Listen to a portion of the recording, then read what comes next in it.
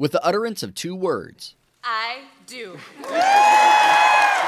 Peggy Flanagan made history, becoming the highest ranking Native American woman elected to the executive office in the nation. By elevating the role's significance, we will bring diverse perspectives to the governor's office. The historic event means more than filling a seat.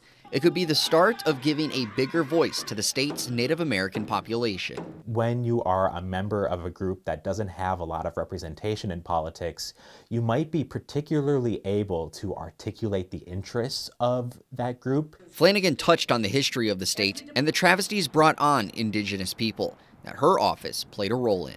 An office whose governor once declared that our Dakota brothers and sisters, and I quote, must be exterminated or driven forever beyond the borders of Minnesota.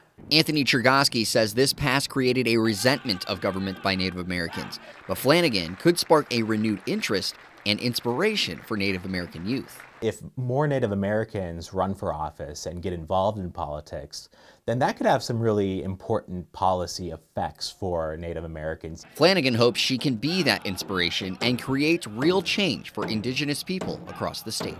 My people talk about walking in two worlds, but one of my most treasured mentors encouraged me to reject that idea. I am an Ojibwe woman, and I am an Ojibwe woman all the time.